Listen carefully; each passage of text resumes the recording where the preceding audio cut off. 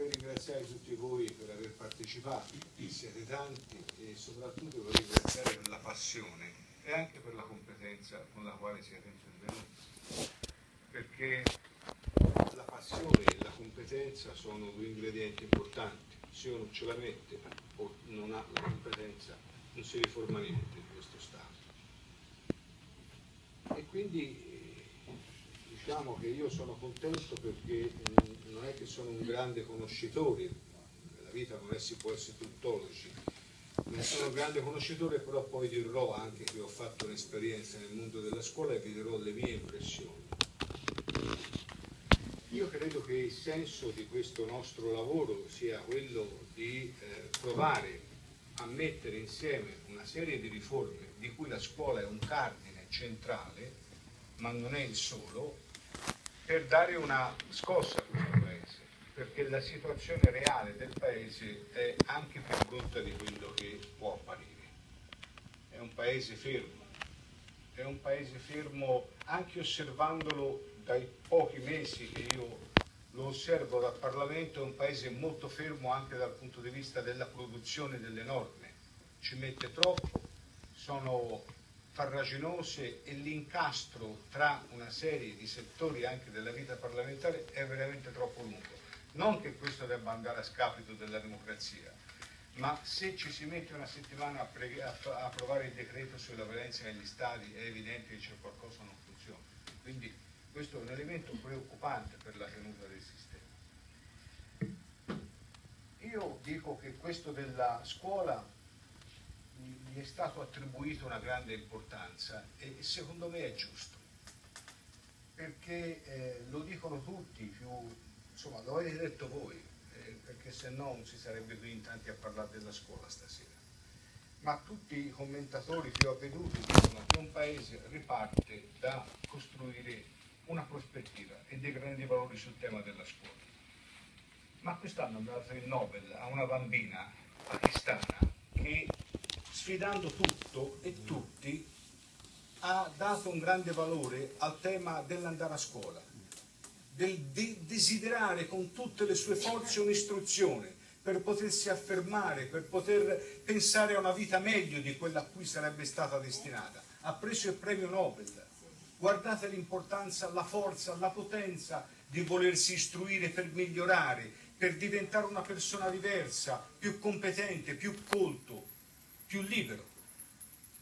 Allora io penso che comunque nella difficoltà del momento e anche nella parzialità di questo documento che è stato presentato, penso sia stato fatto bene aprire una riflessione su tutto il Paese, perché non è che uno deve andare a sentire oh come è bello il documento La buona scuola, no, deve andare a sentire quali sono le cose che sembra potrebbero funzionare e quelle che invece non funzionano, ma se uno non fa questo sforzo, francamente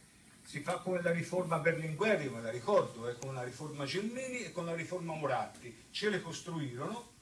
e, e ce le siamo presi, d'accordo? Perché funzionava così, eh. anche la riforma Berlingueri, io ero segretario dell'IDS, quindi qualche idea l'ho avuta su quella riforma, un pochino costruita da tavolino fu. Eh.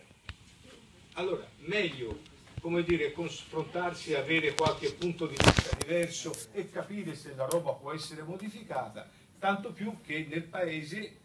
si sono mosse tanti forum o tante serate come queste per discutere e entrare nel merito. Ecco, questo per dire come elemento di introduzione. Dico, prima di dire due cose su quello che io penso, eh, ho detto prima la voglio inserire in un quadro che è un quadro complesso come pensate ci sia un grande cerchio lì.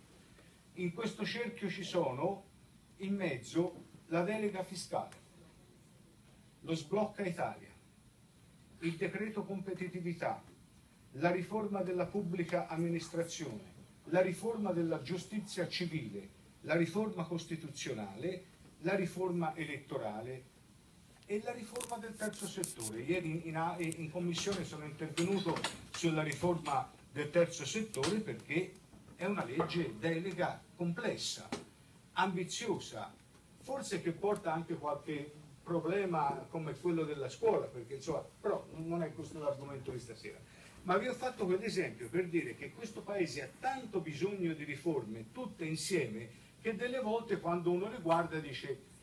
ma siete grazie possono apparire, possono spaventare cioè, come si fa a tenerle tutte insieme? E invece bisogna capire che questo paese si riforma se parallelamente ne fa incastrare tutte e ovviamente ne ritrova riscontro ad esempio su quello che è un provvedimento che è stato presentato ieri l'altro è la legge di stabilità, perché se uno fa una serie di discorsi ma la legge di stabilità non dà una spinta, per esempio, come l'ha data, a abbattere la componente costo del lavoro IRA, è evidente si torna alla solito discorso. Naturalmente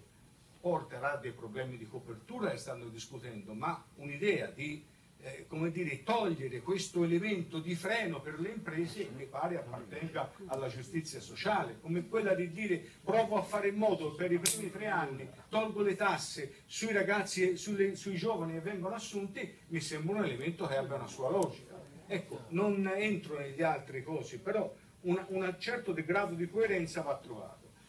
Allora, questo discorso della scuola io lo inquadrerei così, ma prendo le parole che avete usato voi, ecco, perché ci sono tanti aspetti.